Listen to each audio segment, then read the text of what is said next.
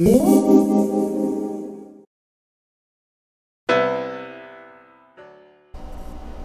back Gadgeteers. As you can see the components for my upgrade to my Ryzen AMD system have come.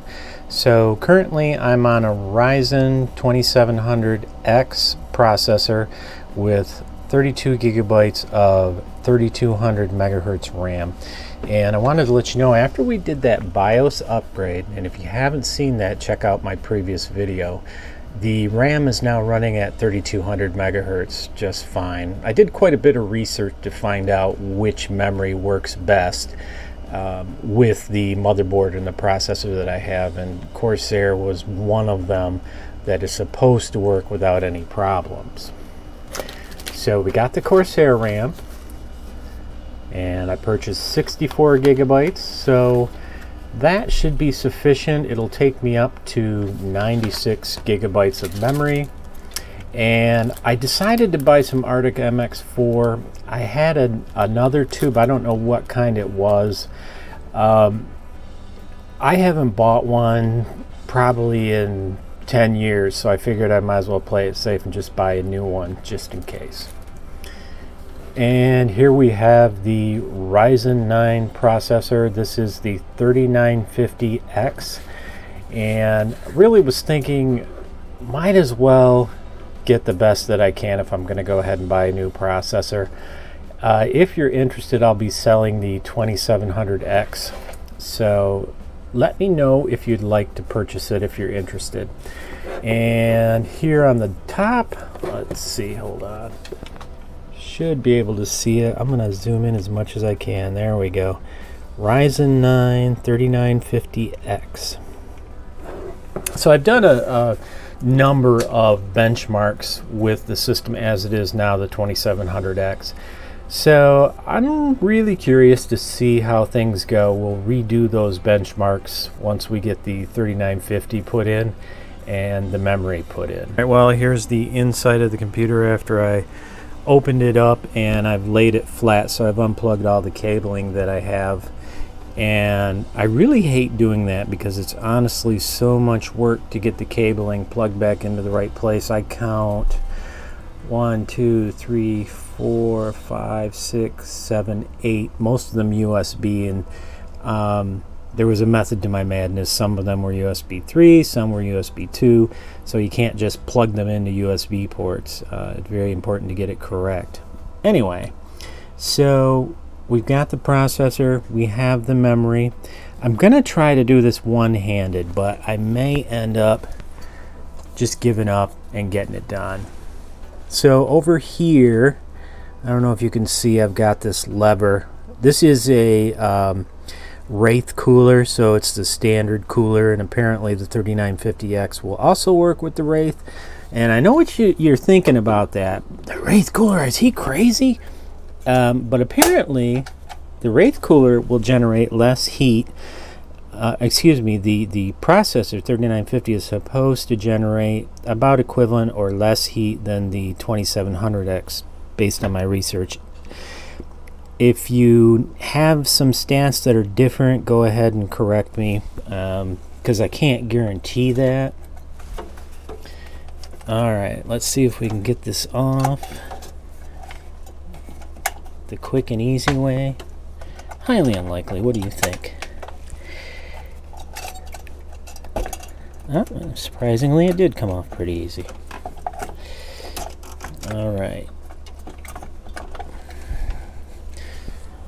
Alright. kind of hung up right there.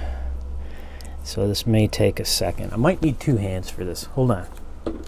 Got it. A little bit tricky um, because of the cabling, you know, cable management, the new thing that I ran back here behind my case and then I've got another one running down here from the power supply. So processor access is going to be somewhat difficult, not very difficult. And then, of course, I'll have to flip over uh, and clean off the uh, cooler and make sure that there's no additional old MX grease on there.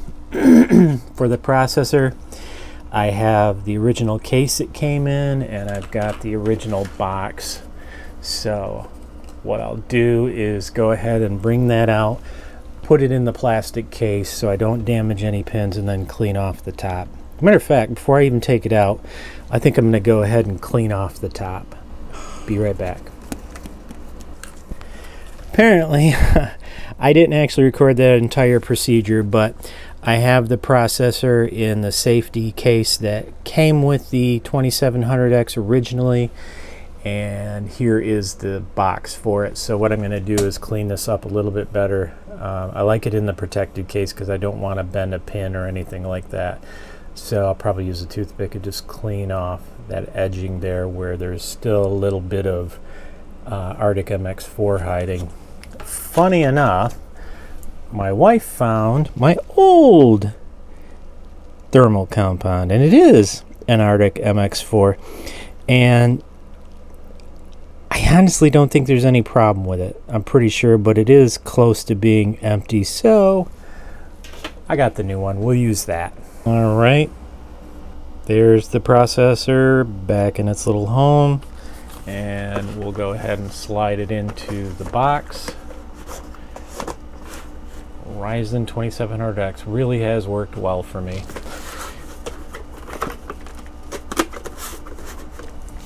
All right back to business. Um, I've got to get the other processor out of the box. So that might take a minute. Um, there is a seal on the back, by the way. If you ever buy one of these processors, make sure that the seal is still intact. Also, I wanted to point out, you do not want to leave your processor slot um, socket open like that very long because of dust and these pins are so tiny even the smallest bit of dust can cause a problem. Alright well I've taken the fan the Wraith cooler. Let's see if I can flip it over so you can see it. And I've cleaned off it's kind of hard to see but I've cleaned off the fan and the heatsink. So now what I'm ready to do Let's put a little bit of gel back on the CPU. Now, based on the previous CPU, I used too much, and I honestly don't remember what I did with the 2700X, but let's see what we can do. I usually do at least a little bit in the center, and then maybe just a tiny bit Okay, it doesn't look like a tiny bit, but it actually is. Looks like a huge amount, but it's not. So what I'm going to do next is put the heatsink back on. You may be asking, um, will you be able to get the memory in? I tested putting the memory in. Uh, previously, I took one of the memory sticks and moved it over when I had the computer open before, so there should be no problem getting that memory in. All right. Note to the wise do you see the metal bracket going straight down and then being hooked by that cheap crap plastic clip? And I'm, I'm specifically angry with AMD and the way that they mount these processors. That right there is the mount for the fan. And the plastic becomes brittle and it will break. So you should have your temperature warning turned on on your motherboard. I know a lot of people don't like to do it, but you should because there's a good chance, almost 100%, that at some point that brittle clip will simply break and your cooler fan will be hanging off, not touching the CPU. And if you don't have the uh, temperature warning set up, uh, basically you could damage your CPU. When I install these new processors, I usually get a new plastic clip that goes around uh, the mount for the fan, and they're only like five bucks. So, my recommendation is to go ahead and buy a couple of those at the time when you buy your processor upgrade. Alright, the processor is in, and it was kind of a pain in the butt, I gotta admit, but here we have one open slot and a second open slot. I couldn't get white again. I actually didn't want white initially when I bought my 32 gigabytes of memory, but I was able to get black, so I'll have kind of a black and white motif going. Let's get those in. Alright, there it is. DDR4 Vengeance LPX going in. Alright, there we go. Got the black and white motif going. I am surprised at how close these um, DIMMs are to each other, but they do have heat spreaders on them, so that's one of the reasons they're so close. And the other is, of course, the design of the motherboard. Alright, so got the processor in, got the memory in. I'm going to put the case together, at least preliminary. I'll do power and video, see if we can get it to boot up. If we can get it to boot up, I'll probably put together the rest of the cables, get my keyboard going and things like that. This is a part where I'm most nervous. Will it post? Power on, self-test. All right, well, I knew I wasn't recording when the camera shut itself down, but anyway, you can see that it's running. If there was an emergency, I was going to yank the power cord out of the back. Um, the fan initially was white and then it turned red and lo and behold, it booted.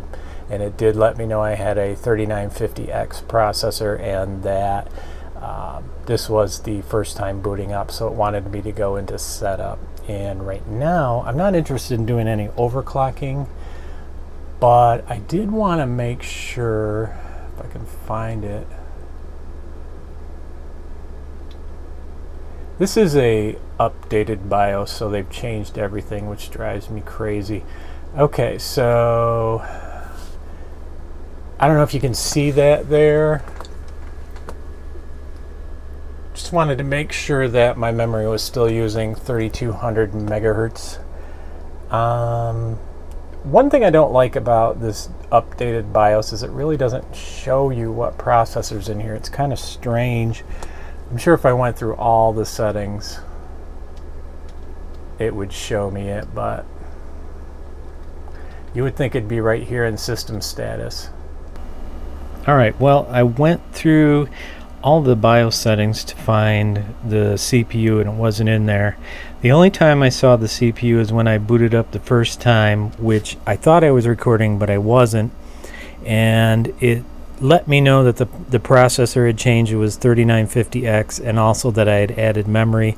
And it wanted me to do, I want to say F1 to setup or F2 to resume. So I did setup and there's really no changes to be made and I went ahead and saved it and rebooted and this is the screen that comes up after the save and reboot so um, it really doesn't say what processor it has installed. I think that is a very big weakness for a motherboard. It should de declare what processor is being booted up. So we'll get it into Linux. Um, as a matter of fact I've got it paused. I'm gonna do a control C. We'll go into Linux, we'll look at the system monitor and see how many cores we have for starters. And I'm not sure if you can tell, but I've got 16 cores there on the CPU history and then below the graph is the, I think threads, not cores. Quite a few. And then memory 1.4 gigabytes out of 94.3 gigabytes being used which for me is quite a surprise. So basically, the system as it is running uh, the KDE environments at 1.4 gigabytes, not a showstopper really. And of course, network history. And then at the very bottom, we have the CPU at 0%, zero processes, total memory in use, and total swap in use, which is currently nothing. I love that. Here we have run the command proc CPU info and we use the less command actually to list it and we can see that it is the AMD Ryzen 9 3950X 16 core processor that is now installed and this is in Linux. So this command you would run in Linux. You run less space proc uh, actually forward slash proc forward slash CPU info. Alright so I ran Geekbench 4 and it just completed but before we go and check that out I wanted to show you the scores I got yesterday when I was doing the 2700X CPU I got a 5038 for single core and a 30936 for multi-core.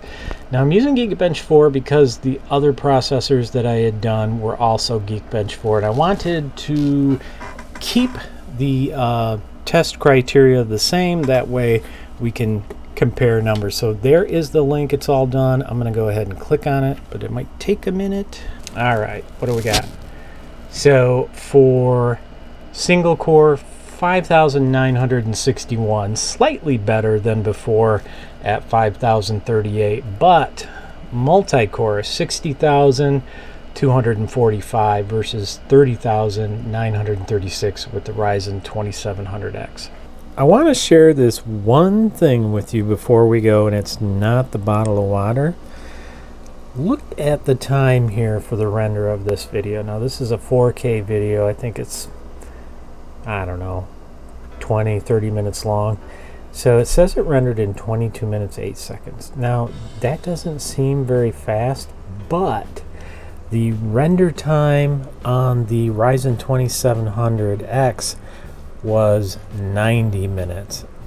I can't believe that. It literally shaved off an hour of time. So definitely, definitely like this. And 1080p will be even faster, but 4K, I'm very impressed. Alright, if you like this video, hopefully you'll subscribe, give it a like, and I would like to hear your comments, what you think about the 3950X, whether or not it's worthwhile doing, and if you really want to, join me at Patreon and maybe, maybe, maybe consider giving a dollar uh, which helps me buy equipment and hardware like the 3950X so that we can showcase it and do things with it. Thanks for watching.